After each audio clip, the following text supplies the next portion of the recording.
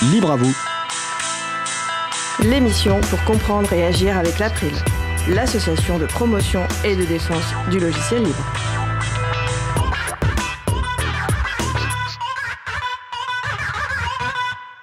Bonjour à toutes, bonjour à tous. J'espère que vous avez passé un bel été.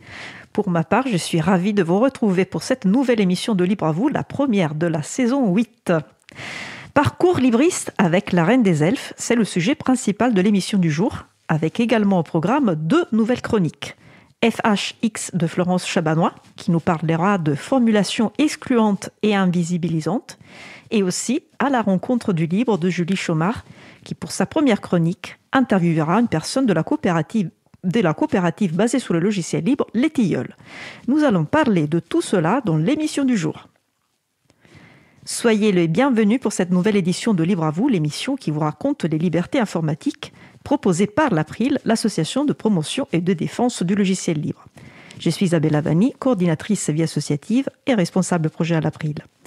Le site web de l'émission est libreavou.org. Vous pouvez y trouver une page consacrée à l'émission du jour avec tous les liens et les références utiles et également les moyens de nous contacter. N'hésitez pas à nous faire de retour ou nous poser toutes questions.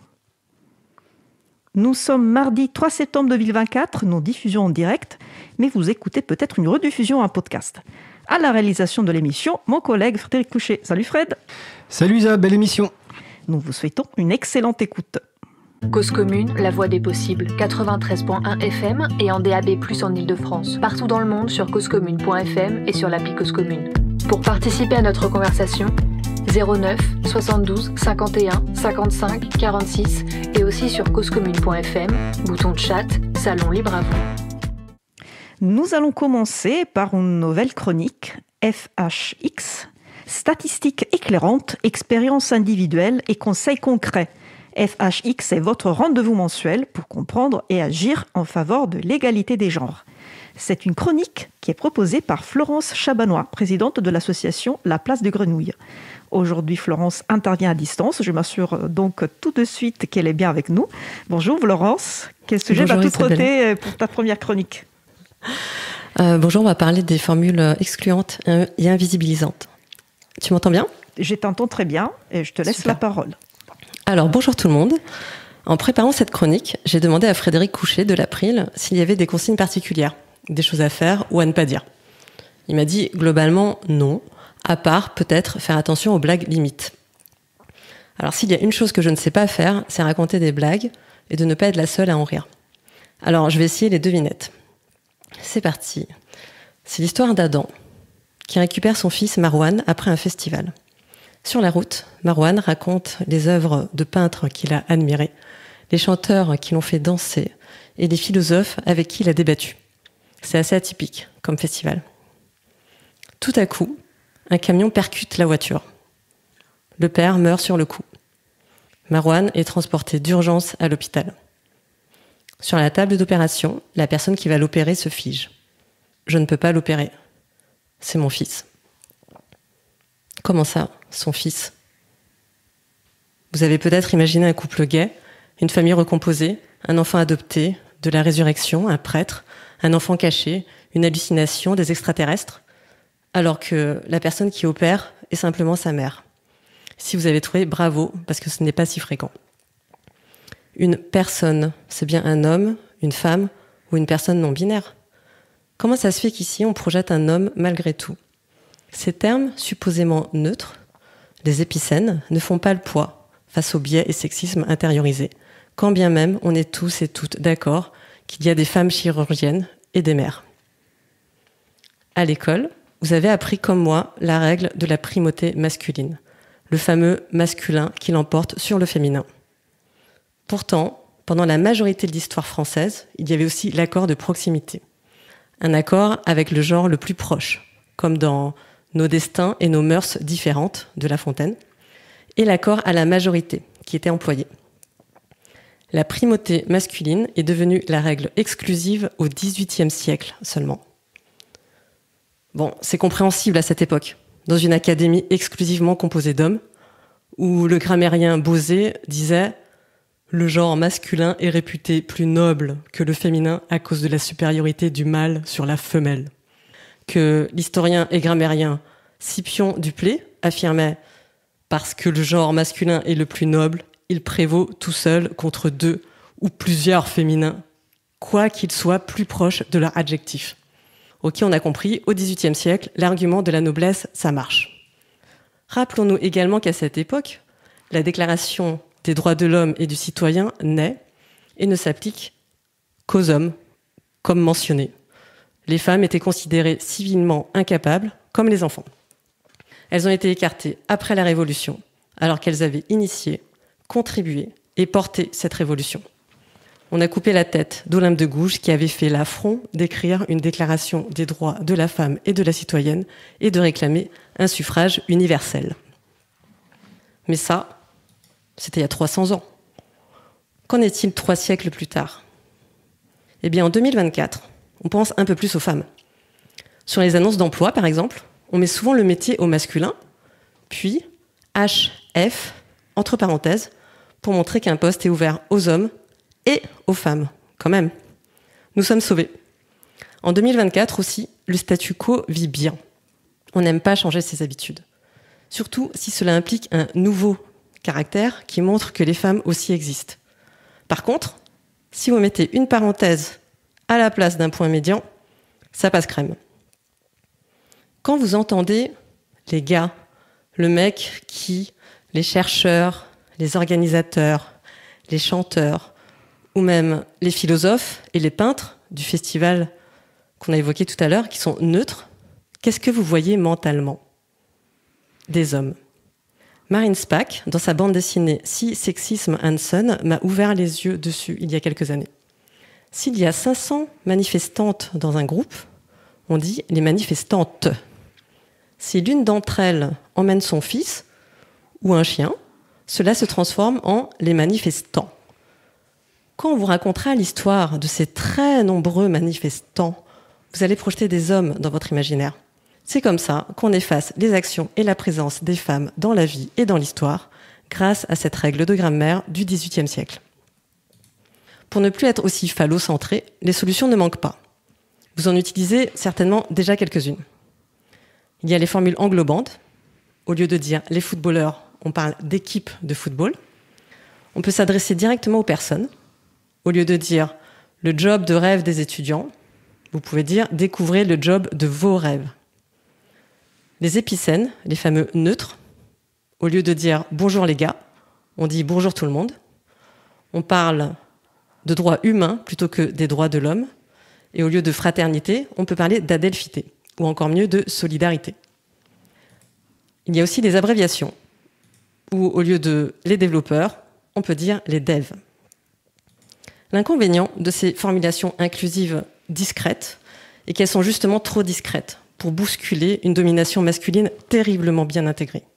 Les femmes restent invisibilisées, on projette des hommes par défaut, comme dans la devinette. Pour y remédier, il y a le doublé, où on doublonne les genres. Par exemple, le mec ou la nana qui.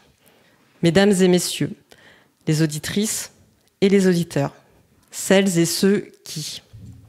C'est ce que j'utilise le plus, car le doublé est explicite sur plusieurs genres et qu'on a du mal à projeter plusieurs choses en même temps si on ne les explicite pas.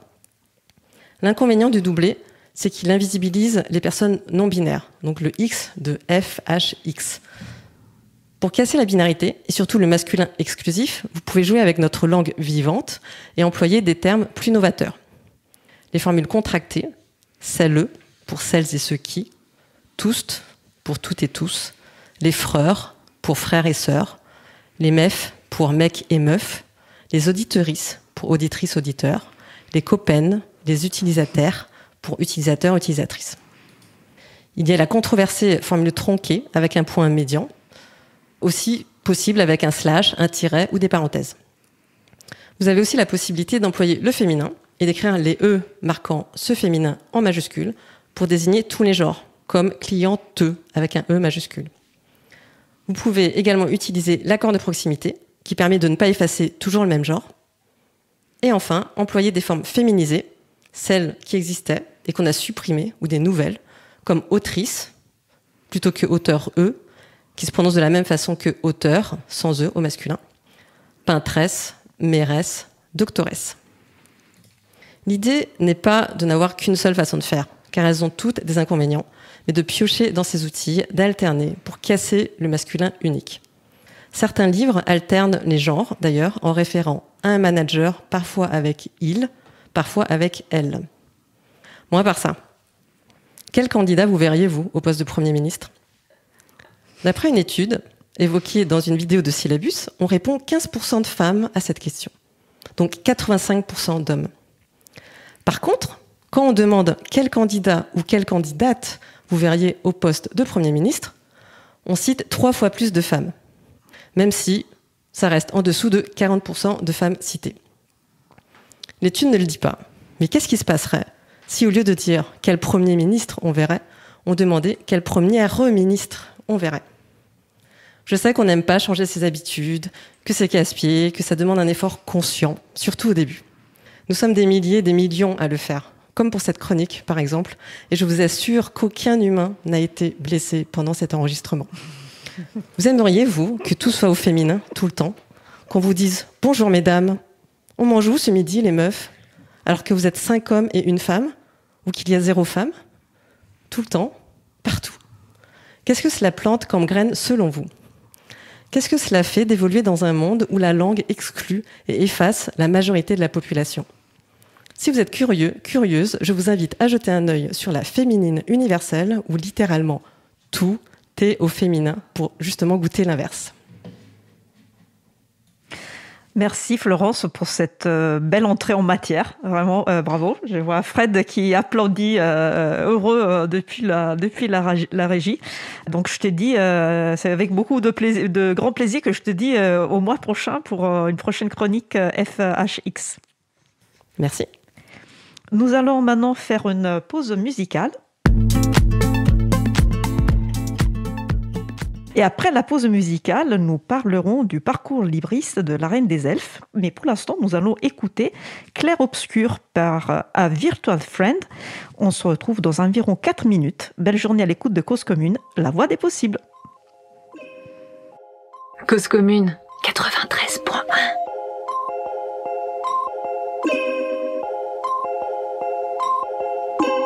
Ces visages qu'on emprunte pour un jour, pour une vie. Notre âme jamais enfoui dans les profondeurs de l'oubli. De l'oubli, oui, de l'oubli. Faut-il sauvegarder les apparences à tout prix? Se lancer dans un combat sans sens, sans idée. Bof, moi je dis, bof, moi je dis, bof, moi je dis. Il n'y a ni avant, ni après, ni de maintenant s'approprier tous les instants. Les brandir comme un trophée aux yeux de tous et sacrifiés sur l'autel de la sérénité retrouvée. Il se peut que le destin nous joue des tours sans fin. Pris entre deux feux, nous voulons fuir le malin. Respectant ainsi le dictat des gens bien pour se rendre compte au final que ça rime vraiment à rien.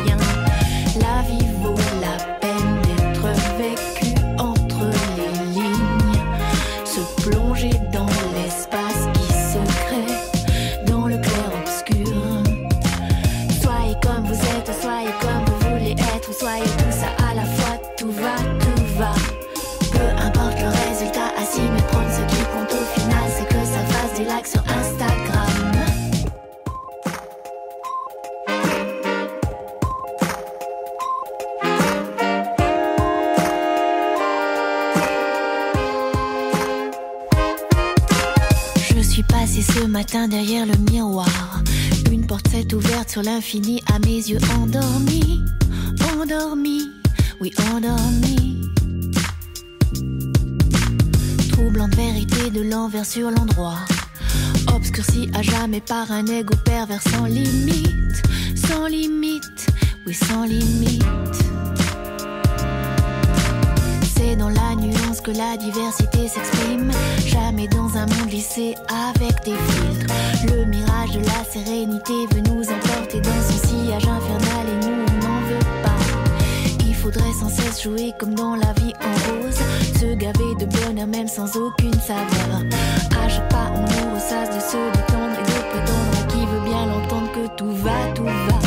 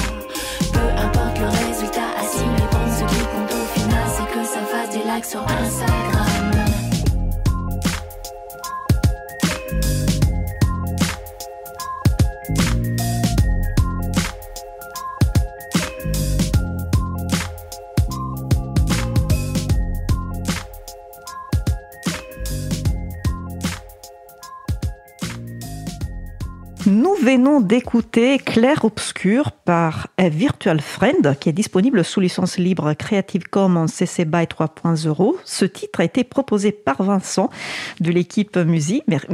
Merci à lui. Euh, Vincent est par ailleurs le développeur de la base de musique libre que nous utilisons, euh, nous, l'équipe de Libre à vous, pour collecter et documenter les titres pour les pauses musicales de l'émission.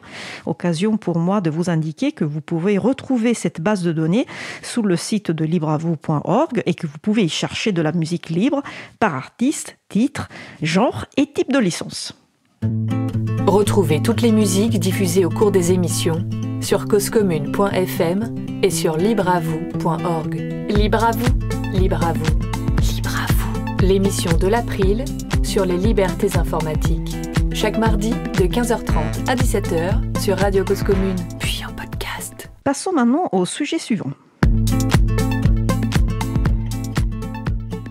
Nous allons poursuivre notre sujet principal qui porte aujourd'hui sur le parcours libriste de l'arène des elfes. N'hésitez pas à participer à notre conversation au 09 72 51 55 46 ou bien sur le salon web dédié à l'émission sur le site causecommune.fm, bouton chat. Euh, donc j'ai la chance euh, d'avoir euh, avec moi sur le plateau Brigitte, alias la reine des elfes, c'est comme ça qu'on te connaît sur les internets. La chance parce que tu es venue exprès de, de, de Quimper donc merci à toi pour avoir fait ce voyage, pour intervenir en direct depuis le, studio de la radio. Donc il y a, beaucoup, de personnes qui ont réagi, euh, euh, notamment sur euh, Mastodon, quand on a annoncé que tu, parlerais, que tu interviendrais dans, l'émission, parce que tu es, très connu dans le, réseau de Mastodon. Mais peut-être qu'il y a, voire sans doute, il y a des personnes qui nous écoutent et qui ne te connaissent pas du tout. Et donc, bah déjà, bah, la, question, la première question est, obligatoire presque. Pourquoi tu te fais appeler la reine des elfes sur les réseaux? Parce que c'est quand même bizarre. Et en plus, c'est tout attaché. Attention. Alors, je suis la reine des elfes depuis euh, que je suis arrivée sur, euh, pas sur les réseaux sociaux, hein, sur le, site de Linux Quimper, où il me fallait un pseudo. À Linux Quimper, c'est un GUL? C'est un GUL. C'est-à-dire C'est un groupe d'utilisateurs de Linux, euh, donc du coup dans la région de Quimper. Et, euh, et donc, euh, lorsque j'ai découvert qu'il y avait des, des utilisateurs Linuxiens à Quimper, je me suis précipitée pour aller les, les croiser sur, à l'époque j'étais sur Facebook, sur leur page Facebook. Et, et donc, du coup, j'ai je suis allée ensuite m'inscrire sur leur forum. Mais les forums me faisaient très peur. C'était euh, un endroit que je trouvais un peu euh, bizarroïde. Il y avait des gens qui parlaient pas comme moi. Il y avait, euh, je comprenais rien de ce qu'ils racontaient. Et quelquefois aussi, euh, j'avais l'impression qu'ils étaient en train de se disputer ou qu'ils se parlaient pas très bien. Il y avait, j'avais l'impression que quand il y avait peut-être des gens qui n'avaient pas euh, lu la doc, hein, euh, j'en sais rien, moi je suis pas à leur place, mais euh, automatiquement il y avait ce RTFM que je suis allée chercher ce que c'était, que c'était Read the Fuck Manual. Et je connais pas bien grand chose en anglais. Bon, j'ai quand même réussi à comprendre ce que c'était. C'est pas très accueillant quand même. C'est pas très accueillant et c'est pas très très gentil. Puis en plus, on sait pas si les gens n'ont pas, ont pas essayé de lire. Donc, euh, se contenter de cette réponse, je trouvais que c'était pas très. Et tu as quand même résisté. Tu as quand même resté sur les forums. Euh, ouais, mais je suis pas allée m'inscrire sur. Enfin, finalement, si je suis inscrite sur pratiquement tous les forums. Euh, sur tous les, forums où ça cause Linux, je, dois être inscrite. Je vais pas forcément causer dessus, mais j'ai dû aller m'inscrire quand même. Mais là, euh, j'avais envie d'y aller et il fallait que je trouve un, pseudo. Et puis du coup, je me suis dit, bah, quand je lisais ces forums, j'avais l'impression de participer à une arène à regarder une arène. Parce les- c'est- parce qu'il y avait des des des conflits aussi. voilà, euh, un peu euh, où les gens causaient, on savait pas trop si c'était une bagarre ou pas, ou euh, si c'était gentil ou pas. Et puis, euh, et puis en plus, vu que je comprenais pas tout ce qu'ils racontaient, je me disais c'est un peu comme le langage des elfes. Ça c'est très poétique, je trouve. et, J'ai beaucoup aimé. Et voilà, donc je me suis dit, eh ben, euh, au lieu d'être, de regarder, d'être dans une arène, je vais devenir la reine de ces elfes que je ne comprends pas. Et voilà le, le pseudo. Et euh, voilà, mon pseudo, c'est euh, devenir euh, la personne qui va pouvoir parler avec ces elfes. Et je suis arrivée à, des- à causer avec des elfes dont je ne comprends pas forcément tout ce qu'ils disent, mais j'arrive à décortiquer un petit peu. Et puis en plus, euh, finalement, ces elfes, ils sont vachement sympas. Voilà, il n'y a pas que les bagarreurs, euh, les bagarreuses, il y a aussi des gens sympas. Et euh, dans le, quand je t'ai demandé de trouver une, présentation, une petite présentation pour l'annonce de cette émission, tu as donné cette présentation. Euh, je suis Brigitte, alias la reine des elfes, qui se définit comme une noob éternelle des internets, habitante de Mastodon, utilisatrice de logiciels et de services libres, qui aime partager ce qu'elle apprend sur son site internet ou lors des ateliers d'accompagnement au numérique qu'elle anime dans un centre social. Et donc, ce qui, bah, déjà, utilisatrice de logiciels de services libres, je crois que tu n'utilises plus Facebook. Ça fait longtemps. Je- Ah, ça n'a pas été simple hein, de quitter Facebook. Ces types de plateformes ont le chic de te dire que c'est quand même dommage de plus pouvoir voir un tel. euh, euh, on l'a fait avec des potes de Masto. De Mastodon, qui est un, qui est un, Voilà, un- de un réseau- euh, qui un microblogging, un réseau de microblogging Un, décentralisé. un des logiciels qui, qui peuple le fait divers, parce qu'il y a plein d'autres logiciels de, de microblogging. Celui sur lequel je suis inscrite, donc c'est fonctionne avec le logiciel Mastodon, mais je peux communiquer avec d'autres personnes qui utilisent d'autres logiciels. Ça, c'est la, magie euh, des, logiciels libres. Euh, et euh, je suis surprise aussi quand tu dis que tu aimes, tu apprendre ce que tu partages, que tu, que tu fais aussi au- de l'accompagnement au numérique dans un centre social. Et en même temps, tu veux continuer à te définir comme une noob, qui veut dire un peu, euh, Grande débutante. voilà, en débutant éternel Oui. des internets. Donc, euh, je, je trouve un peu une contradiction entre le fait que tu as fait tellement de, de progrès et tu as appris tellement de choses qu'aujourd'hui tu es accompagnatrice, et en même temps tu, es, tu te définis noob éternel. Pourquoi? Oui, j'aime bien ce mot noob. En fait, euh, il est, euh, c'est- au départ, il est péjoratif. hein. C'est, euh, ça montre euh, ceux qui savent pas et, euh, et si je ne me trompe pas, c'était souvent utilisé sur des, des plateformes de jeux vidéo où euh, celui qui posait les, les questions euh, pénibles euh, et qui du coup euh, bah, voilà c'était il, fait- il faisait son noob voilà il est toujours en train de poser des questions. Et j'espère bien ne pas arrêter de poser des questions. Hmm. et je serai toujours une noob parce que euh, le jour où j'arrêterai de, poser des questions eh ben, effectivement je serai plus une noob mais peut-être que je serai plus sur internet non plus D'accord. Et d'ail- et d'ailleurs, tu es connue pour être une personne qui pose plein de questions. Au, Ouais. point, au point que, que quelqu'un euh, a, fini pour t'appeler euh, la grenouille. non pas la grenouille Non, la renette. la rainette La, reine- la rainette, pardon, Ah oui. pardon, c'est mon accent français. La C'est rainette. Une Qui est rainette. une petite grenouille. Qui est une petite grenouille. Bah oui, parce que j'arrêtais pas de faire euh, quoi, quoi et pourquoi. Et à force de dire quoi, quoi et pourquoi, tous mes, mes amis de, du fait divers ont fini par me dire, euh, me dire bonjour la rainette. Donc, et Qui de- te va bien aussi. et ça me va très très Voilà. bien. Et je suis très très contente d'être une rainette. D'ailleurs, c'est euh, une rainette, c'est donc c'est une petite grenouille. Et il y a une histoire euh, qui traîne sur les internets qui parle d'un d'un informaticien ou euh, qui rencontre une grenouille qui parle. Et cette grenouille, en fait, elle voudrait que l'informaticien l'embrasse pour devenir une princesse. Moi, j'ai pas du tout envie qu'on m'embrasse, j'ai pas du tout envie de devenir une princesse. Mais par contre, l'informaticien, il gardait la grenouille dans sa poche. Et ben moi, en tant que grainette, mes copains informaticiens ou mes copaines de, du, du fait divers me transportent dans leur poche. Et comme ça, je peux participer aux conversations et puis quelquefois, eh ben, je peux poser ma question ou bien essayer de comprendre ce qui se raconte. Voilà, vous avez déjà euh, un, bel aperçu de, ce qui est euh, Brigitte euh, alias la reine des elfes. bah, dans le livre à vous, en fait, on aime bien aussi poser une question très très très simple, c'est-à-dire qui es-tu en général? Que fais-tu aujourd'hui?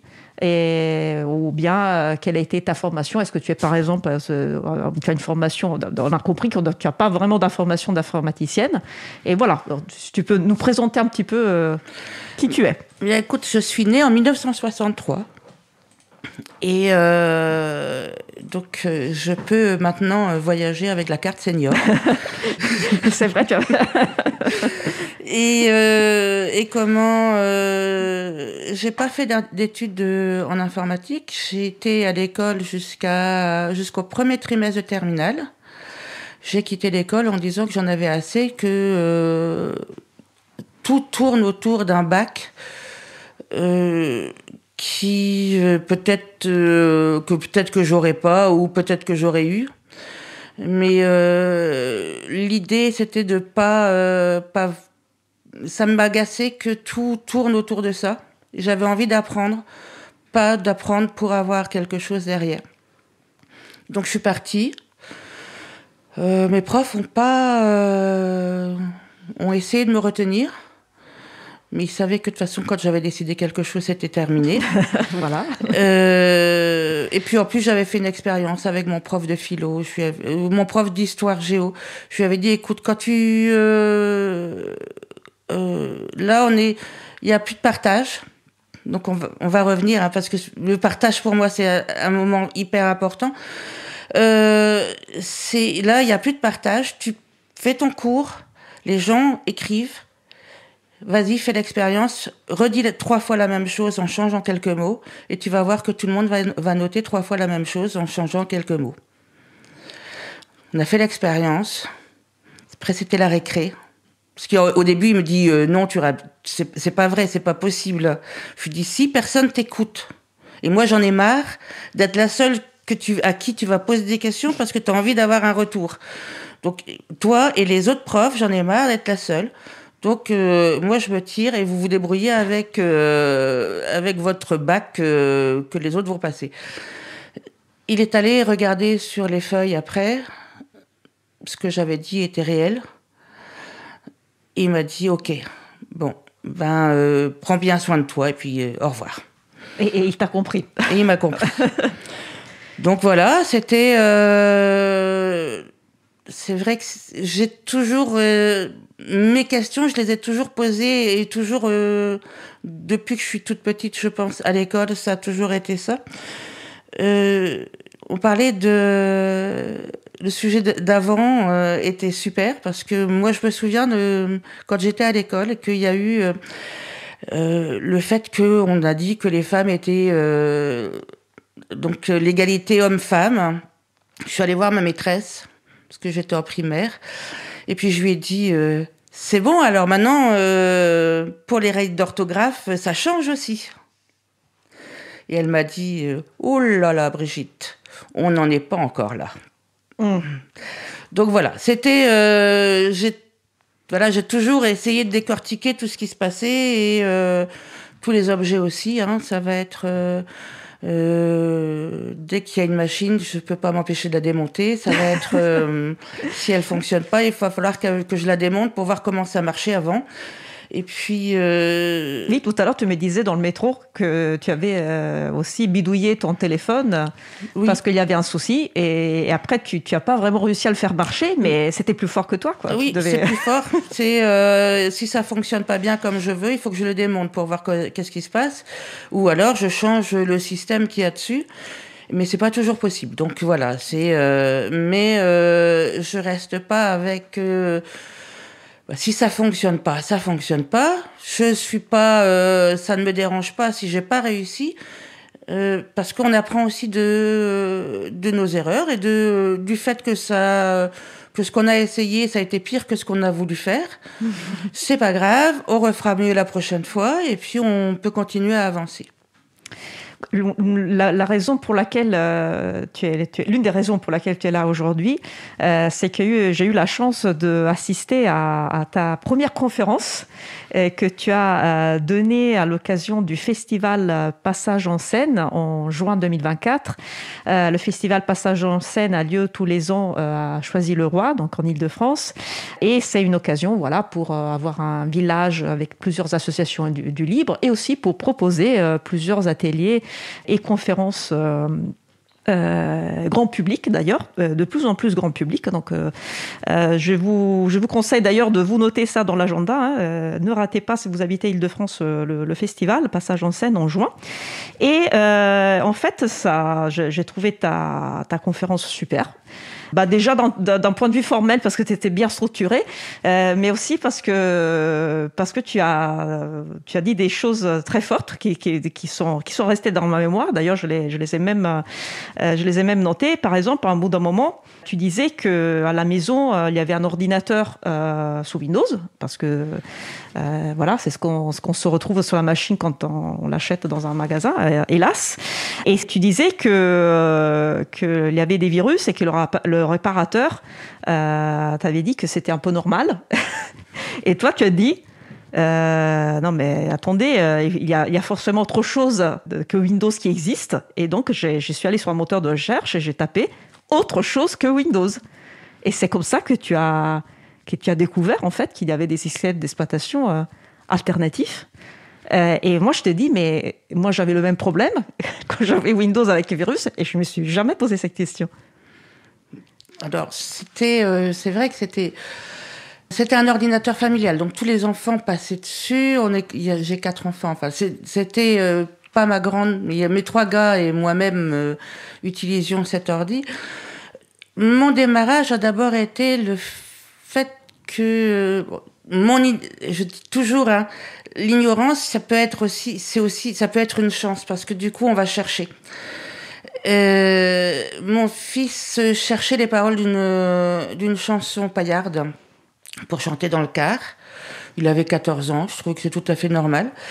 Et euh, ce qui me dérangeait par contre, c'était que à chaque fois que je tape, moi, pour faire une recherche, je récupère le nom de sa chanson.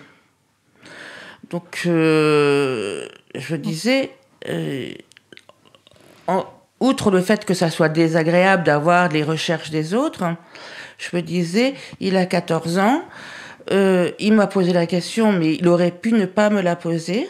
C'est sa vie.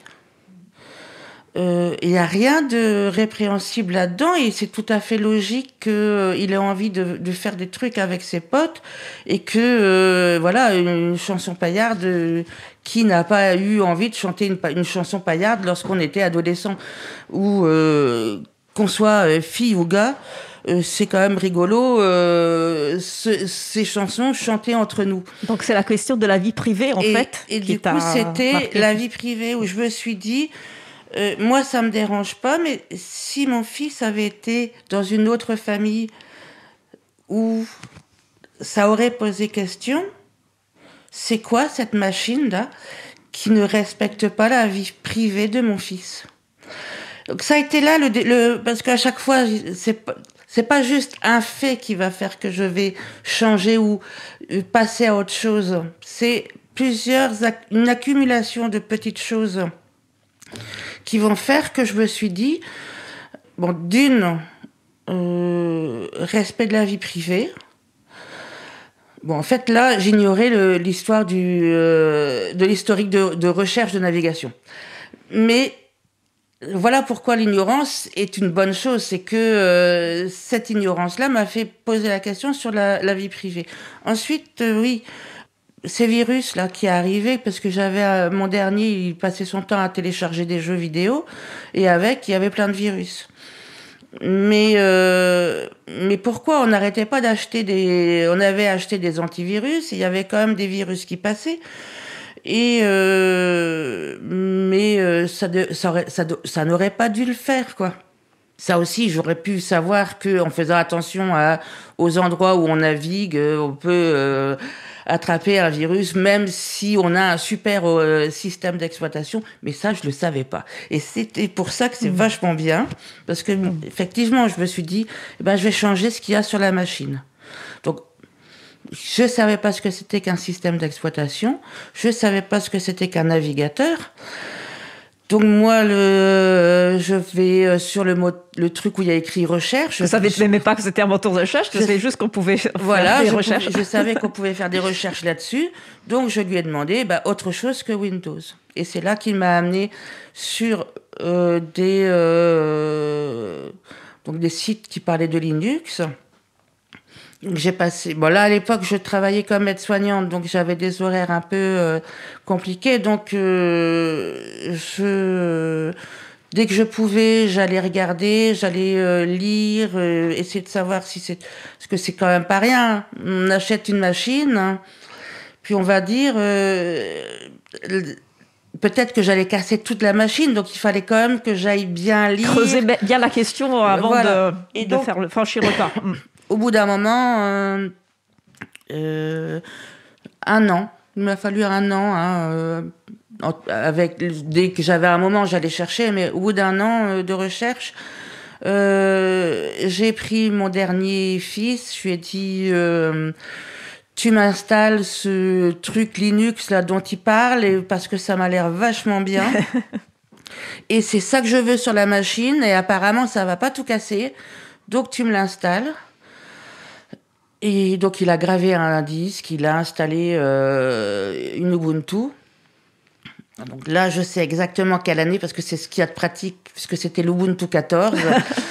et euh, et j'ai démarré ma mon ma liberté d'utilisation de mon ordinateur. Ah, C'était, c'était un moment euh, fondamental. Ça a été.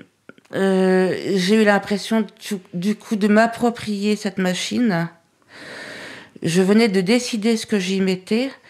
Et en plus, tous les logiciels aussi, je pouvais retirer ce que je voulais, remettre d'autres, faire ce que j'avais envie et ça cassait pas tout. Enfin voilà, c'était. euh, J'ai trouvé ce moment euh, extraordinaire. Mon fils me l'avait envoyé installé en anglais. Et j'ai quand même réussi à découvrir où changer la langue. Et ça, rien que de faire ça, c'était moi qui l'avais fait. Et, euh, et, et après, ça a été. euh, depuis, j'adore tout ce qui est. Cette, enfin, le logiciel libre, pour moi, c'est quelque chose qui, qui est euh, essentiel parce que euh, il y a des gens qui savent faire euh, qui ont cet esprit de partage et qui veulent bien euh, que d'autres utilisent ce qu'ils ont fait. Et en plus, il y a même le droit de transformer. Alors les logiciels, mais les licences libres aussi, parce que ma- maintenant, euh, j'ai euh, David de Revoix qui fait, ses dessins merveilleux en licence libre. Je vais chercher ces dessins sur Krita. Euh, euh, David, euh, on l'a eu d'ailleurs invité dans l'émission Libre à vous, et effectivement, c'est un, un illustrateur, dessinateur extraordinaire. Et, et quand je veux faire une affiche, par exemple, je vais prendre un de ces dessins, je vais euh, aller chercher sur Krita et je vais pouvoir tirer des, des, des enfin, Et Krita, c'est un logiciel un libre. logiciel de- de libre qui, qui l'utilise. Donc je peux aller chercher son fichier et j'ai le droit de, de, de- d'utiliser son fichier et de le transformer. Et après d'utiliser l'image que j'ai euh, transformée et, et, euh, en créditant euh, et en disant l'image que j'ai prise au départ. Mais je trouve quand même que c'est extraordinaire. Moi, je sais pas dessiner. Alors, quand j'ai besoin de faire une affiche, euh, David, c'est celui que je vais, euh, chez qui je vais aller piocher pour aller euh, mettre un, un super fond, un super dessin. Et puis, je vais aussi utiliser les dessins de G. Pareil. Qui est chroniqueur, qui est euh, chroniqueur dans Libre à vous. et, et pareil, j'ai j'ai accès à ces fichiers. Je peux transformer ce qu'il a dessiné et puis en faire ce que je veux. Et c'est euh, euh, un monde euh, quand même où euh, ça devrait être comme ça tout le temps, quoi. quoi qu'on fasse, euh, ça devrait être faire partie de, du monde de, de qu'on vit, où, euh, eh ben oui, on, on a un, un, pot commun, on, on, a besoin, on prend, on a besoin, on... Et, et, chacun, sans exagérer, puisque chacun aura confiance en l'autre, ben voilà, c'est quelque chose que euh, je sais bien qu'on dit quelquefois que je suis une bisounours, mais euh, en plus d'une rainette, en plus d'une rainette, rainette, je suis une bisounours. Mais j'ai pas envie de changer non plus, parce que je rêve d'un monde euh, où tout le monde a sa place. Et euh, bon, même si, ben voilà, c'est comme ça, c'est pas la réalité. Euh, Mais on peut continuer à rêver. Moi, je, voilà, je peux continuer à rêver. Bah, moi, d'après cette euh, belle euh, déclaration d'amour euh, pour le logiciel libre, les licences libres et, et le partage, bah, je te propose de faire une, une pause musicale et puis après la pause, on, on parlera de parce que là tu, tu, as parlé de ton espérance individuelle, mais après tu allais chercher d'autres personnes comme toi qui utilisent les, les, les, logiciels et grâce à ces personnes tu as fait encore plein de choses. Pour partager tes connaissances avec les autres. donc, je vous propose de faire une pause musicale et nous allons écouter Airship Thunderchild par Otto Almen. On se retrouve dans environ deux minutes. Belle journée à l'écoute de Cause Commune, la voix des possibles. Cause Commune 93.1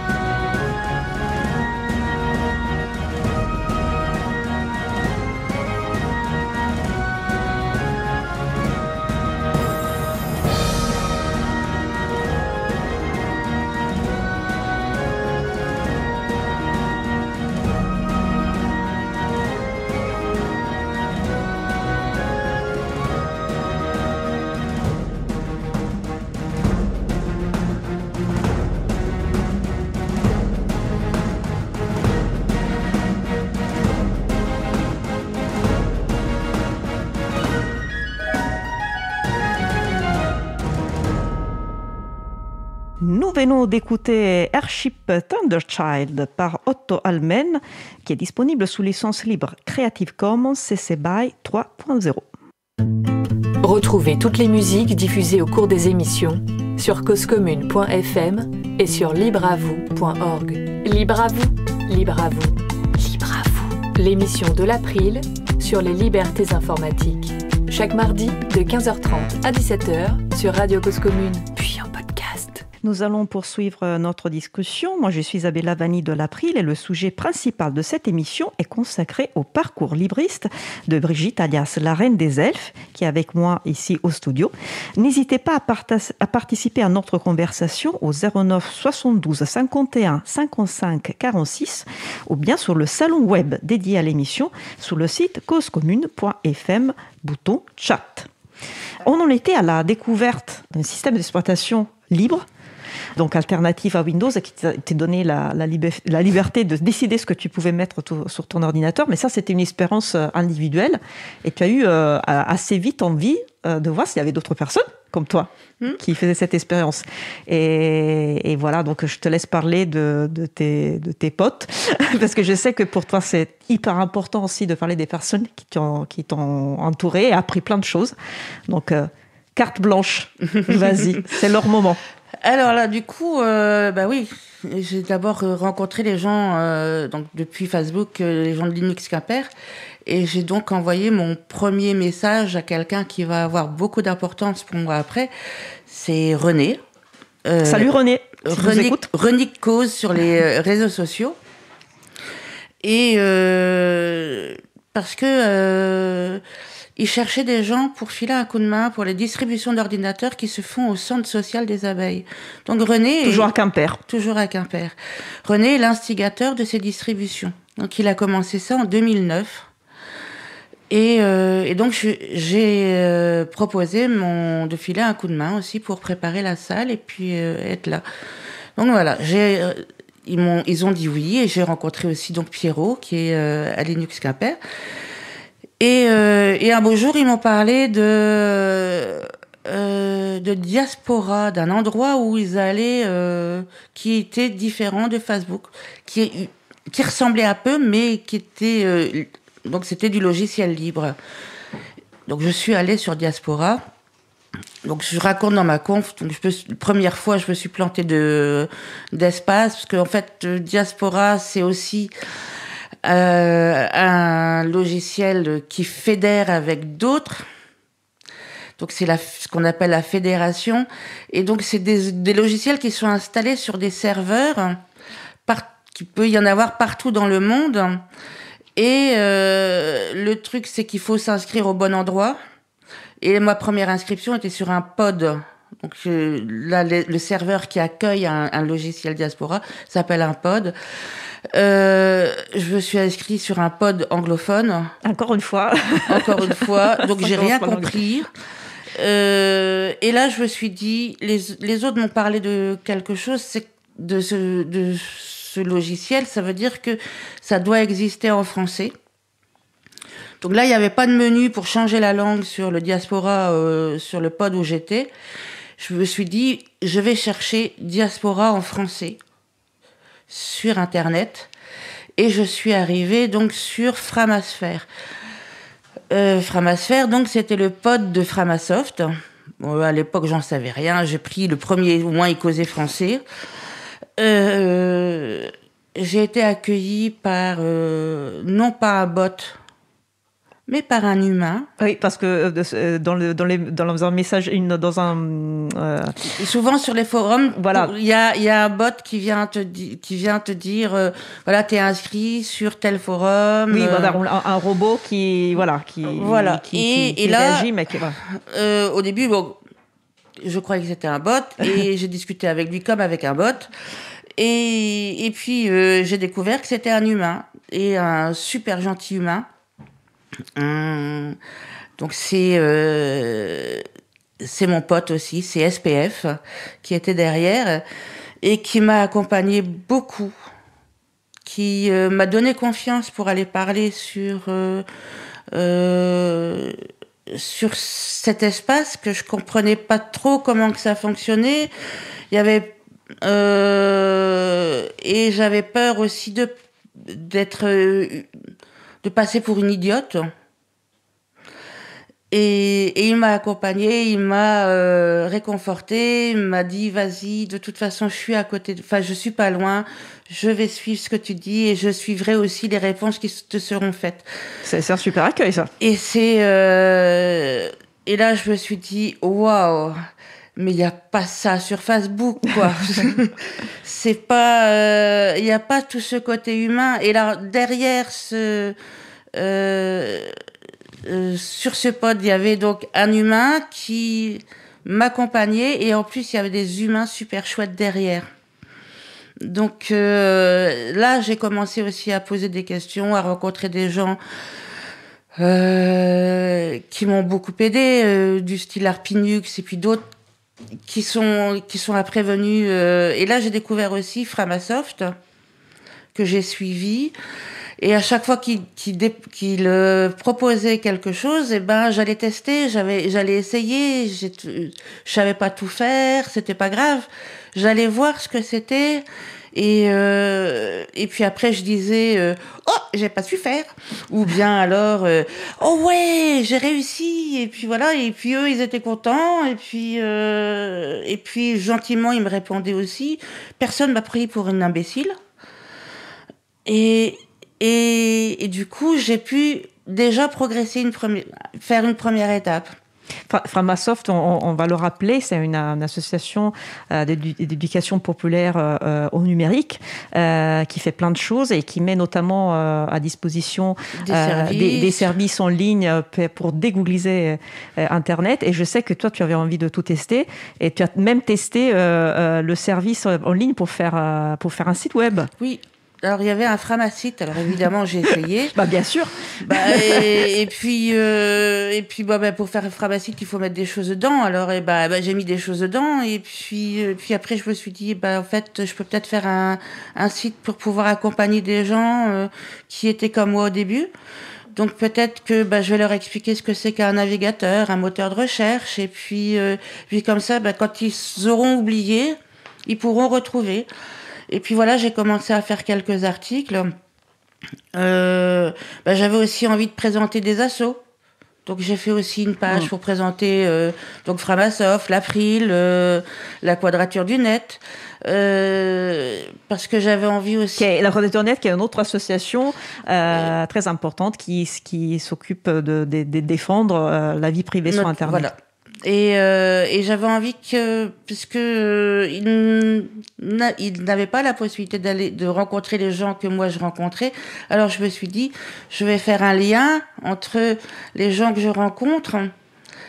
Euh, je vais essayer de traduire ce, qui, ce que j'ai pu comprendre pour que d'autres puissent aussi euh, euh, avoir cette information. Donc voilà comment est né mon, mon blog. Euh, pendant très longtemps, Framasoft a ouvert beaucoup, beaucoup de services. Ça demandait beaucoup d'efforts, beaucoup de, de disponibilité. Euh, ça demande aussi. Euh, il y a des services qui sont utilisés par des spammers, par des mm. qui sont détournés en fait. Il y a alors du coup avec tous ces gens, ça demande beaucoup de de présence, de présence salariée ou bénévole. Et à un moment donné, il a fallu arrêter aussi des services pour que, et j'en suis contente, pour que les salariés de Framasoft mhm. se sentent beaucoup mieux. Donc, mais euh, d'autres associations euh, ont pris le, le relais. Et, voilà, et en plus, comme il y avait les chatons, euh, d'autres. Qui, est le collectif euh, d'hébergeurs. Le collectif d'hébergeurs associatifs transparents ouvert, neutre et solidaire. Je crois que c'est autonome, mais c'est très bien. Voilà, c'est un collectif voilà, qui, qui, recueille beaucoup, euh, beaucoup de structures. D'ailleurs, euh, pas que associatif. Hein. je crois qu'il y a aussi des, des, des, des, personnes, euh, des individus, des, des entreprises, voilà, et qui proposent justement des services libres et décentralisés parce que le logiciel libre permet de pouvoir installer d'innombrables fois sur, sur son propre serveur le logiciel. Oui, oui, et puis c'est important aussi que Framasoft soit pas euh, le, le, Google de français, c'était ce qu'ils avaient toujours dit et, euh, et ils ont même si libre, ils veulent pas de centralisation. Ils veulent pas de centralisation, donc c'est important que les chatons euh, existent, que Framasoft existe, parce que euh, sans Framasoft, moi, j'aurais la petite grenouille que je suis, la petite rainette que je suis, euh, n'aurais pas rencontré tous ces euh, tous ces gens qui m'ont euh, qui m'ont appris plein de choses. Donc, Framasoft a été quelque une asso hyper importante pour moi et elle l'est toujours. Et euh, d'autant que euh, ils viennent de me demander, enfin ils m'ont demandé d'être un membre de l'assaut. Félicitations. Merci. Donc c'est plutôt pour cooptation, si j'ai bien compris. voilà, mm. j'étais euh, j'étais cooptée, donc je maintenant je suis membre officiel de Framasoft. C'est super. Donc voilà, mais au début je me suis demandé, mais comme je demande souvent, hein, c'est à toi je t'ai demandé, mais pourquoi tu veux m'inviter? Euh, Framasoft, c'est euh, mais pourquoi vous voulez de moi comme membre? Euh, Je suis pas, enfin voilà, c'est, je suis juste une petite euh, reine des elfes. Et qu'est-ce qu'ils t'ont répondu? Parce que je suis moi. Voilà, bah c'est. on, a, on, a, on a tout compris. et tu, tu disais euh, que le, voilà, Framasoft c'était un moment important et un autre moment important c'était la c'était Mastodon. Ah bah, c'est quand Framasoft juste encore a ouvert le euh, donc quand, quand Mastodon a commencé à à se faire bien connaître. Et puis il y a euh, des gens de Framasoft qui sont allés le tester et qui ont dit tiens et si on le proposait? Et on est plein de diaspora à être partis euh, sur euh, Mastodon. Et donc pendant longtemps, je- enfin j'ai toujours un compte diaspora où je vais plus très beaucoup, mais euh, la plupart des gens étaient sont partis après sur sur Masto, sur le sur Framapiaf. Qui est l'instance en fait, L'instance le- le- ouais. de, Framasoft. Puisque quand ils ont fait leur annonce, voilà. Et quand ils ont fait leur annonce, ils avaient aussi dit que. Euh, je sais plus si l'April avait commencé en même temps, mais je sais qu'il y avait la quadrature. On n'arrivait avait- pas, pas loin avec euh, notre, euh, notre ouais, vous- service vous euh, étiez- poète, euh, Ouais, poète Chapril. Donc voilà. euh, je me souviens plus. je me souviens que en même temps que Framasoft, il y avait euh, la Quadra. Donc euh, il y avait eu un article et puis après il y a eu d'autres articles en disant il y a aussi d'autres euh, d'autres instances françaises euh, et puis ils, ils les ont nommées. Donc euh, ça permettait aussi euh, moi j'ai essayé plein d'instances parce qu'une fois que je suis dessus ben, je rencontre des gens qui ont des instances et, j'ai, et ben c'est des copains et j'ai envie de tester leur instance. On a compris que tu aimes bien tester les choses. voilà, et j'ai testé plusieurs autres logiciels, mais je les ai Pleroma, enfin voilà, et j'ai aussi essayé Write, c'est un logiciel super sympa euh, qui permet d'écrire des petits textes, voire même des grands. Des- hein. oui, voilà. Euh, et, euh, et qui euh, du coup euh, fait partie de la fédération. Donc depuis mon compte Mastodon, je peux aussi lire des des des, euh, des comptes white sur sur des instances. Donc voilà, c'est c'est rigolo la fédération. Alors c'est pas toujours facile à expliquer parce que ce qui est rigolo n'est pas toujours simple à expliquer. Mais en tout cas, c'est un espace où tout le monde peut euh, communiquer puisque alors je vais, je vais arriver à montrer que j'ai appris des choses. Ils utilisent le même langage et donc ou protocole qui est ActivityPub. Voilà, Là, je, je- chapeau parce que voilà. Voilà. Et que Diaspora n'utilise pas, du coup on ne peut pas causer avec Diaspora.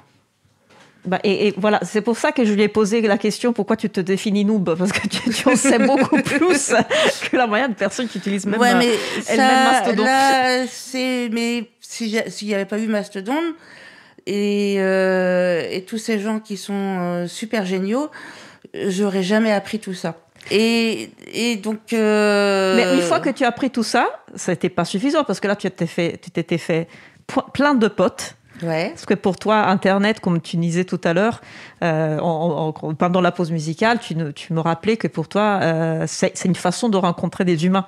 Oui. Euh, c'est une autre façon de rencontrer des humains. Ça, le, le fait qu'on se voit pas, finalement, c'est pas, c'est Ah, pas après- gênant. Voilà. Et après, on se, on se rencontre d'abord sur le net et après, on peut se voir physiquement. C'est vrai.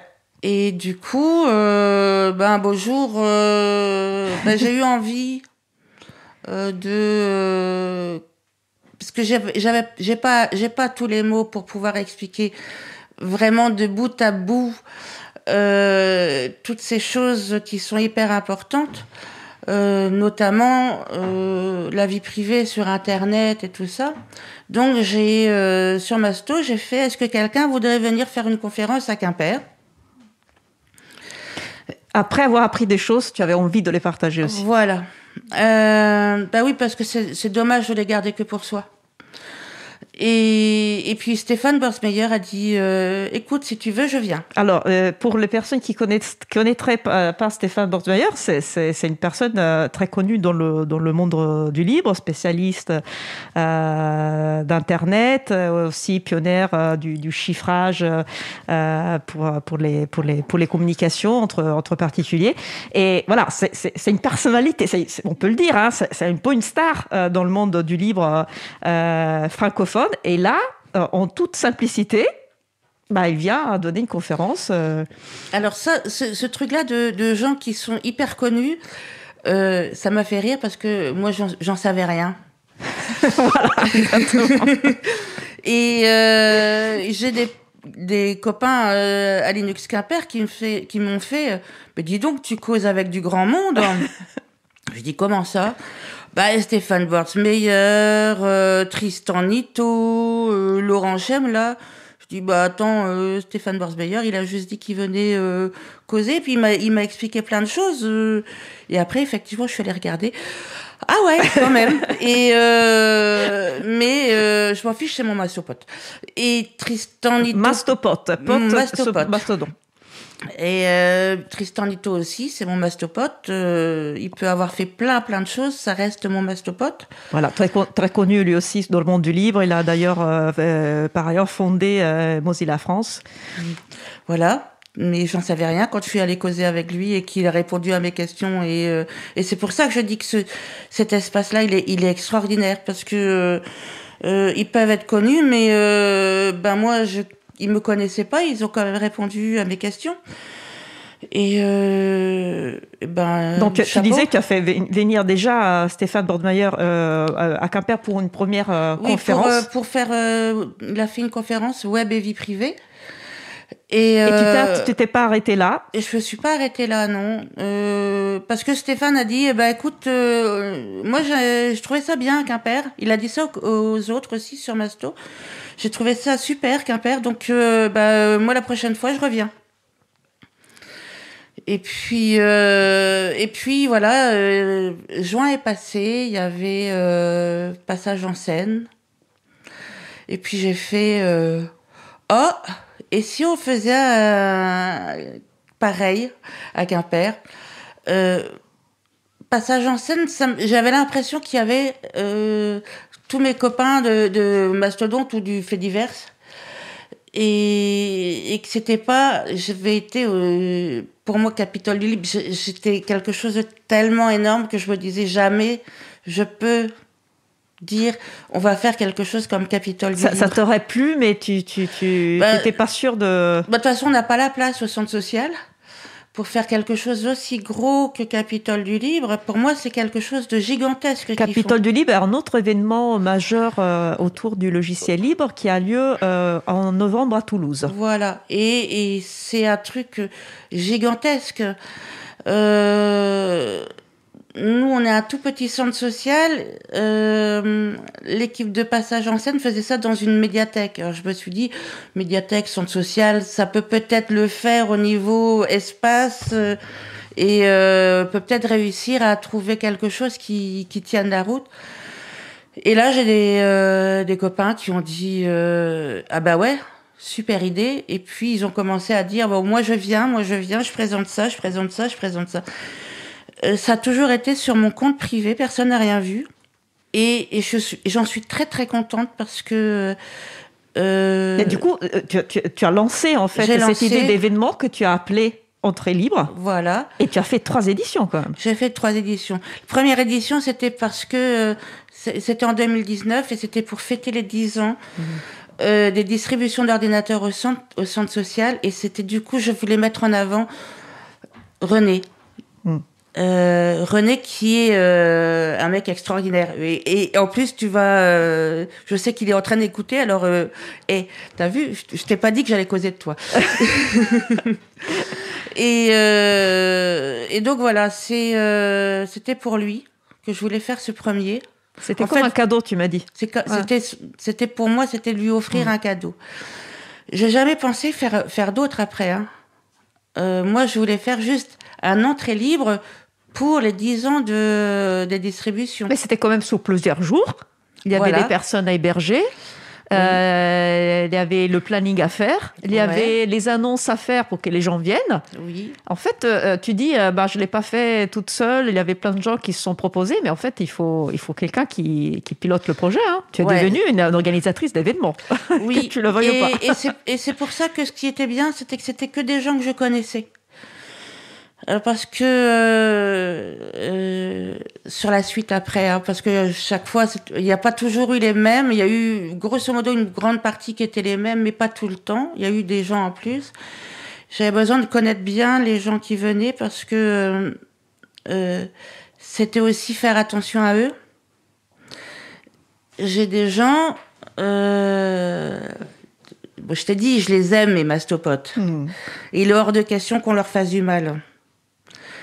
Donc, euh, je veux que tout soit autour d'eux, euh, comme tout pour les accueillir. Mm, Qui se sentent bien, qui, Qui se, se sentent bien, bien. accueillis. Euh, J'ai une de mes potes qui a du mal avec trop de monde. et Je lui ai installé un coin dans la bibliothèque. Elle avait la clé pour qu'elle puisse aller, qu'elle puisse s'isoler. Euh, il est hors de question que mes potes transgenres se fassent emmerder par des euh, imbéciles. Et, et voilà, donc euh, j'avais euh, à cœur que ce soit vraiment des gens que je connaisse bien, parce que je veux en prendre soin. Ce sont mes amis. Donc tu as fait cet événement avec eux pour et avec eux et elle et pour eux et pour elle et ça s'est ça s'est bien passé au point que tu as eu envie d'en faire euh, deux autres Ah éditions. non, c'est pas moi. Ah, non Ah non, c'est pas moi, c'est eux. Ah oui, à nouveau. C'était eux. Ah, ça nous mes- a plu, on le on refait. C'est mes potes euh, qui ont dit bon, on refait ça euh, l'année prochaine ou dans deux ans. Euh, et, bah non, bah si. et ben euh, et puis euh, puis voilà après euh, dans- Tu n'avais pas le choix, mais tu étais content de les voir J'étais- aussi. J'étais tellement heureuse de les voir et tellement heureuse de faire aussi. Parce que cet événement, c'est pour les gens qui viennent écouter, parce que je voudrais amener euh, tous les gens euh, qui passent, euh, qui. euh, je voudrais que la connaissance, elle soit partagée. Et puis en plus, j'ai envie de présenter aussi mes, cop- mes copaines de, de Mastodonte. Et, et puis. euh, Et, et parlons justement du public. Quel était le public que tu voulais justement Je euh, voulais- convoiter euh, pour assister je aux voulais conférences des gens qui soient euh, et ça ils avaient ça par contre comme consigne pour ça il fallait que le- leur discours soit complètement accessible donc il fallait que ce soit des gens qui soient euh, débutants ou qui se posent des questions sur euh, leur usage leur euh, qui soient euh, dans le questionnement et euh, effectivement c'était euh, et je voulais aussi pas que des conférences, je voulais des ateliers. Mm. Parce que je voulais qu'on que ça soit quelque chose. euh, et je voulais pas avoir d'atelier en même temps qu'une conférence. Mm. Bah, tu vois, c'est voilà, c'est c'est tu Et- dis c'est le- c'est les autres qui les autres qui ont fait, mais c'est c'est toi qui as organisé, c'est toi qui avait qui était à la tête. euh, Ouais. Et qui puis, décidait. et puis après, euh, c'est moi qui ai choisi effectivement les repas parce que euh, bah, je voulais. Je trouve que c'est hyper important. On avait un temps de repas et euh, que ça soit euh, respecté, les, adapté euh, pour tout le monde. adapté. Mm. Et puis voilà. Donc. euh, et, Et tu m'as dit une chose incroyable, c'est qu'ils sont venus depuis euh, l'est de la France pour assister à, une édition d'entre livres. La première édition d'entrée libre, j'ai eu des gens qui sont venus au camping de Quimper parce que euh, ils avaient entendu parler d'entrée libre sur l'agenda du libre. Voilà. L'agenda du livre, c'est- donc c'est un, c'est un site en fait euh, où on peut trouver une agenda euh, avec des événements autour du logiciel libre, de la culture euh, libre et, et- et aussi un annuaire d'organisation en même temps. Donc ils avaient vu sur l'agenda. Oui, donc ils Tiens. ont, ils étaient, euh, c'était des, euh, ils avaient bien 70 ans. Hein. D'accord. Ils ont fait toute la route pour venir euh, et, et vraiment, euh, bah, je l'ai. Peut-être que vous écoutez cette émission aujourd'hui, mais en tout cas, euh, merci hein, parce que euh, tout cet effort-là de, de au niveau transport euh, et, et c'est quand même pas simple de venir dans un dans une ville qu'on ne connaît pas. Euh, je vous ai déjà remercié, mais je vous remercie encore. Avec plaisir. C'est c'est nous qui, qui sommes contentes et contents de, de- t'avoir ici. Euh, D'ailleurs, je suis, je, suis, je suis tellement navrée que le, le- le temps file trop vite et on n'a pas beaucoup, euh, beaucoup de temps. Euh, donc, j'avais préparé plein d'autres questions encore. Et donc, c'est difficile de choisir. Mais là, je parle et du coup, on perd du temps encore. Euh, si, je vais peut-être parler juste d'un truc en vitesse. voilà, une chose que tu veux dire. Euh, sur Masto, il y a Laurent Chemla qui avait présenté euh, Calliopen. C'était une, euh, un logiciel qui, qui de euh, Crotte de Bic, je l'avais bien euh, en tête. euh. donc, euh, une messagerie sécurisée. D'accord. Euh, bon, il n'a pas eu les financements euh, qu'il cherchait. Elle est, euh, je pense qu'il continue à travailler dessus et qu'il y a plein de bénévoles qui travaillent dessus puisque c'est devenu une association. Je, je pense pas qu'elle soit qu'elle soit arrêtée, mais en tout cas j'ai été testeuse de cette messagerie et ce que j'ai trouvé génial c'est que donc vous avez bien compris que je connais rien et que euh, pour tester une- un, truc qui va être mis après euh, à disposition d'un public et tout ça, euh, Laurent, quand je lui ai posé la question de savoir s'il voulait bien que je teste, il m'a dit bien sûr. Et si on a, enfin, je n'attends que ça. Enfin, Ouais. voilà, c'est bien, ça me fait très plaisir. Et euh, C'est une autre façon finalement de contribuer au livre, de, Voilà, de c'est tester les logiciels d'application. Euh, écoute, Brigitte, moi je, je, je te propose de te poser les autres questions que j'arriverai une autre fois. Tu es la bienvenue quand tu veux. et, mais malheureusement, euh, malheureusement, euh, voilà, l'émission, le temps coule et je dois passer au sujet suivant. Mais un grand merci encore pour être venu depuis la Bretagne jusqu'ici pour parler en direct. C'était un vous. vrai plaisir. merci à vous et merci à mes mastopotes. Merci Je au de. Brigitte. Nous allons euh, maintenant faire une pause musicale. Après la pause musicale, nous, nous entendrons la première chronique de Julie Chaumard qui interviewera une personne de la coopérative Les Tilleuls. On se retrouve dans environ 3 minutes. On va écouter Devil's Gotta Get You par Dr. Detrey. Euh, belle journée à l'écoute Cause Commune, la voix des possibles. Cause commune. 93.1 It's a long,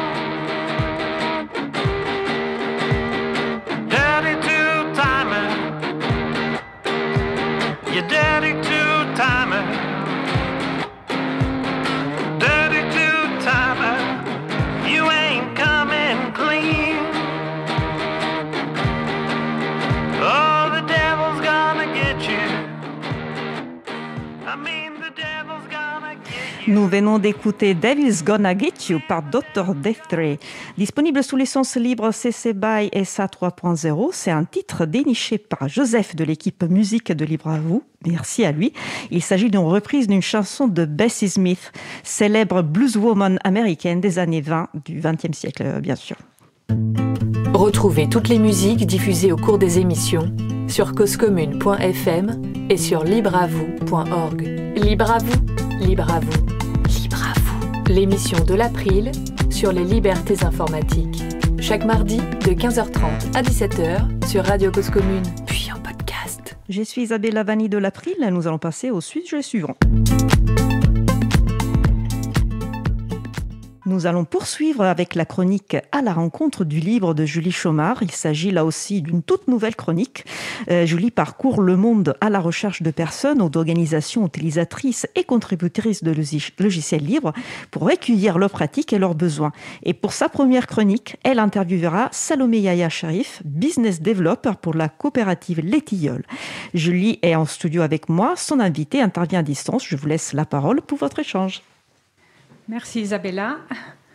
Aujourd'hui, pour la première de la chronique, à la rencontre du libre, nous allons interviewer Salomé Yaya Sherif, une jeune femme qui travaille pour la coopérative Les Tilleuls, qui a été créée en 2011 et qui est dirigée aujourd'hui par Kevin Douglas, un des fondateurs historiques, et par Marion Agé, qui est également directrice technique. Salomé, si tu es là, peux-tu nous en dire plus sur toi et sur cette coopérative? Bonjour à toutes et à tous, est-ce que vous m'entendez bien? Oui. Bonjour Parfait. Salomé, merci. Et merci à vous de me recevoir aujourd'hui. Donc euh, effectivement, je me présente, je suis Salomé, je fais partie de l'équipe commerciale euh, chez letiol.coop. Pour vous en dire un peu plus euh, sur qui nous sommes, donc nous sommes une société de services. On accompagne donc nos clients via des prestations de services web, que ce soit en développement, en consulting, en formation, etc. Et notre particularité, vous l'aurez compris, c'est qu'on est une coopérative. Merci euh, Salomé, cela fait plaisir euh, de voir donc euh, une bonne parité femmes et hommes à la direction des tilleuls avec ce duo de dirigeants. Qu'en est-il pour le reste des salariés de la communauté et quelles actions faites-vous au tilleul pour permettre un bon équilibre et de ne pas vous retrouver avec beaucoup plus d'hommes que de femmes Je pense sûrement que c'est le cas, tu vas nous dire, parce que c'est le domaine technique qui contient encore aujourd'hui euh, plus d'hommes. Alors effectivement, comme tu l'as dit, on a deux co-gérants, Kevin et Marion. Euh, c'est quelque chose qui est très important pour nous et qui a toujours été un choix d'avoir euh, une co-gérance mixte. On a aussi euh, plusieurs femmes parmi les postes à responsabilité et des postes assez élevés chez nous, que ce soit dans l'équipe, par exemple, chefferie de projet, en marketing, en développement. On travaille beaucoup au niveau de notre, notre attractivité pardon, pour attirer plus de femmes parce qu'effectivement, au niveau de nos effectifs, on a plus de développeurs que de développeuses. Euh, donc pour ça, on essaye d'instaurer un maximum d'égalité. Ça fait partie de notre ADN en tant que coopérative. Par exemple, on propose une grille de salaire euh, qui ne fait pas de différence euh, selon le genre, ce qui est quand même assez normal, mais qui n'est pas toujours intégré partout. On propose aussi des congés menstruels et d'autres mesures, comme par exemple un réel suivi pour le retour de congé maternité. Oui, il faut aussi que les femmes se sentent, comment dire, capables de devenir développeurs et que ça vient euh, depuis l'enfance et euh, le système éducatif. Pour en revenir au tilleul, euh, quels sont les services que vous vendez exactement? Alors c'est très diversifié. Comme je l'ai dit au début, soit on peut accompagner nos clients en développement, donc que ce soit dans leur équipe ou en autonomie. Euh, on fait aussi du consulting, tout ce qui va être conseil, audit, etc., de l'hébergement, de la formation. Et nos clients sont assez diversifiés. Ça va de euh, la très grande entreprise à la petite euh, start-up locale. D'accord. Et donc vos clients, il y a une part publique-privée? Alors oui, on travaille euh, beaucoup avec des acteurs publics, euh, notamment avec euh, des appels d'offres, mais on travaille aussi avec des clients privés. Au niveau de la part, je dirais qu'on a quand même beaucoup plus de, de clients privés à l'heure actuelle. D'accord, non, c'est bien. Et tu as des exemples de, de ces clients? Oui, par exemple, on travaille avec des clients, on va dire, qui sont assez connus comme France TV, Arte. On travaille aussi avec Decathlon, avec Mediapart, par exemple. Donc, on est dans tous les types de secteurs. On travaille aussi pas mal euh, avec les médias, les fédérations sportives, euh, le retail. euh, C'est assez diversifié. Donc, ces clients utilisent l'écosystème du logiciel libre parce que vous, en tant que tilleul, vous êtes basé sur l'écosystème ou sur le logiciel libre. Oui, exactement. En fait, on est expert, on est reconnu euh, pour notre, notre expertise euh, en logiciel libre, à la fois par nos contributions, dans plusieurs euh, logiciels et frameworks très connus comme Symfony par exemple, Laravel, Caddy, etc. Et on a aussi nos propres logiciels libres qu'on a développés, donc qui sont API plateforme, qui vous permet de créer des API standardisées. C'est quoi un API Alors, une API, ça va vous permettre euh, de communiquer entre deux, euh, deux outils, entre deux applications. C'est un peu comme un pont en fait. Merci. Euh, donc API plateforme et euh, Franken PHP, donc qui est un serveur d'application qui va vous permettre d'améliorer vos performances, les performances de vos applications. On est aussi auteur et autrice d'ouvrages et on donne des conférences sur le logiciel libre.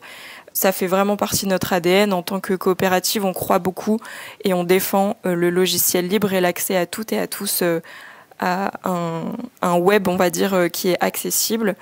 Euh, donc on contribue au quotidien, que ce soit dans nos projets internes, on va dire, ou dans les projets clients. Donc vous, vous avez à cœur de, participer à l'écosystème et au, à l'enrichissement et au, au déploiement du logiciel libre. Exactement, oui.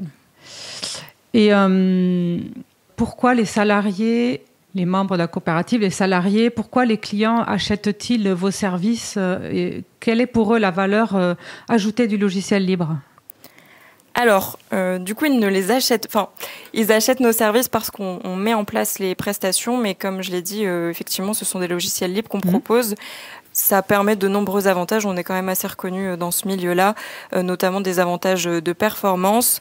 Et on permet aussi d'avoir accès à des fonctionnalités qui ne le sont pas dans certains logiciels qui sont payants. Et aussi un gros avantage, c'est que c'est gratuit pour nos clients. Donc ils ont accès à vraiment une communauté et à énormément de ressources qui leur permet aussi de développer des fonctionnalités très personnalisées dans leurs applications. Oui. Euh, donc, comme tu nous dis, les clients achètent vos services et pas les logiciels libres. C'est ça. Voilà, bien précisé. D'après euh, ce que je comprends aussi, le logiciel libre euh, et l'écosystème du libre est aussi important pour la souveraineté des données. Et d'ailleurs, à ce propos, j'ai lu ce matin dans un article de l'April que pour la Cour des comptes, les objectifs sont encore insatisfaits insatisfaisants dans la promotion des logiciels libres. Donc il y a encore euh, du, travail à faire, notamment au niveau euh, ben, de l'État. Et euh, justement, ça rejoint la question que je voulais te poser par rapport voilà, à, l'évolution donc, du logiciel libre pour vous depuis euh, 11 ans, depuis 13 ans même, pardon, que la coopérative existe. Est-ce que vous observez une croissance dans l'utilisation du logiciel libre et une demande aussi de la part des acteurs? Alors effectivement, pour euh, nous, le logiciel libre est en croissance. On le remarque parce qu'on a effectivement beaucoup plus de demandes euh, qu'avant, que ce soit sur les logiciels qu'on a créés ou euh, pour les accompagner à l'utilisation des logiciels libres existants. Je pense aussi que la croissance du logiciel libre repose aussi sur le fait que ça permette de mutualiser les coûts. C'est quand même un pan qui est non négligeable dans le développement web, donc c'est un vrai avantage. Et on remarque de plus en plus que le secteur se professionnalise et que de plus en plus de grandes entreprises euh, nous contactent euh, pour mettre euh, en place le logiciel libre dans leur organisation et notamment en France. Ah, c'est super, merci d'avoir donné le, ben, le- ressenti de ce que vous vivez au Tilleul? Et euh, effectivement, euh, la Cour des comptes parle de, mutualiser, comme tu dis, ça a l'air aussi d'être un des nerfs de la guerre. Et alors, pour finir, euh, la note finale de cette chronique, Salomé, tu vas nous parler d'un événement que les Tilleuls proposent maintenant depuis 4 ans et qui est une conférence à Lille, mais qui est aussi accessible en ligne. Cela s'appelle l'API Plateforme Conférence. Cela se déroule le 19 et 20 septembre. Et donc, Salomé, peux-tu nous dire qu'est-ce que l'on va découvrir à cette conférence? Oui, bien sûr. Alors, euh, tu as donné déjà pas mal d'infos. Euh, donc, cette conférence, elle sera orientée autour du framework euh, API Platform, mais aussi autour de son écosystème. L'idée, c'est qu'on accueille euh, nos 700 participantes et participants euh, pour euh, assister à des conférences. donc de personnalités assez connues, que ce soit du logiciel libre ou de l'écosystème d'API Platform en général. Il y a aussi plusieurs coopératrices et coopérateurs qui vont avoir la parole à cette occasion. Donc l'idée, c'est d'accueillir des personnes pendant deux jours pour leur faire profiter un peu des nouveautés qu'on peut apporter dans le logiciel libre et notamment sur API Plateforme. Bon, c'est un grand événement et euh, donc nous allons hâte de voir euh, ces retombées. Et en tout cas, merci beaucoup euh, Salomé pour ton intervention et d'avoir répondu à nos questions. on pourra retrouver tous les liens et les infos de cette chronique et de, des tilleuls sur la page de l'émission Libre à vous. Et à bientôt pour une prochaine rencontre avec les personnes qui font le libre. Merci beaucoup. Merci à Julie, à pour cette première chronique. Rendez-vous donc le mois prochain. Nous approchons de la fin de l'émission.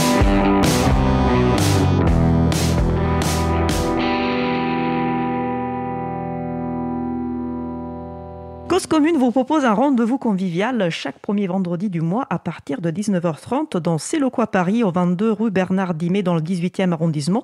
Une réunion d'équipe ouverte publique avec apéro participatif à la clé et occasion de découvrir le studio, de rencontrer les personnes qui animent les émissions. La prochaine soirée rencontre aura lieu vendredi 6 septembre et Frédéric Couchet, délégué général de l'April, sera présent à cet événement. Le premier samedi du libre revient samedi 7 septembre de 14 à 18h à la Cité des sciences de l'industrie à Paris dans le 19e. Vous pouvez y aller pour aider ou trouver des LED pour installer un système d'exploitation libre sur votre ordinateur ou téléphone, ainsi que pour installer des logiciels, applications libres ou alors les configurer si elles sont déjà installées. Et il y a aussi les soirées de contribution libre qui reviennent euh, chaque deuxième jeudi du mois, une façon conviviale de se réunir entre utilisatrices et utilisateurs afin de contribuer au projet libre. La prochaine aura lieu le 12 septembre 2024 de 19 à, 20, à 21h30 à la Fondation pour le progrès euh, de l'homme ça file, ça file très vite. Euh, une nouvelle édition du Capitole Libre aura lieu le 16 et 7 novembre à Toulouse et l'appel à participation ouvert jusqu'à dimanche 15 septembre pour proposer un stand de conférence atelier. Donc, dépêchez-vous. Notre émission se termine je remercie les personnes qui ont participé à l'émission Florence Chabanois, Brigitte alias la Reine des Elfes, Julie Chaumard, Salomé Yaya Sherif et aux manettes de la régie aujourd'hui Frédéric Auchy. Merci également aux personnes qui s'occupent de la post-production des podcasts Samuel Aubert, Elodie Daniel Giraudon, Lingen, Julien Osman, bénévole à l'April et Olivier Gréco qui est le directeur d'antenne de la radio. Merci aussi aux personnes qui découpent le podcast complet des émissions en podcasts individuels par sujet. Quentin Gibaud, bénévole à l'April, et Frédéric Couchet. Vous retrouverez sur notre site web livreavou.org toutes les références utiles ainsi que sur le site de la radio causecommune.fm. N'hésitez pas à nous faire deux retours pour indiquer ce qui vous a plu mais aussi des points d'amélioration. Vous pouvez également nous poser toutes questions et nous y répondrons directement lors d'une prochaine émission. Toutes vos remarques et questions sont les bienvenues à l'adresse contact livreavou.org. Nous vous remercions d'avoir écouté l'émission. Si vous avez aimé cette émission, n'hésitez pas à en parler le plus possible autour de vous et faire connaître également la radio commune, la voix des possibles. La prochaine émission de Libre à vous lieu en direct mardi 10 septembre à 15h30. Notre sujet principal portera sur Mindtest, un moteur de jeux vidéo libre. Nous vous souhaitons de passer une belle fin de journée. On se retrouve en direct mardi 10 septembre et d'ici là, portez-vous bien.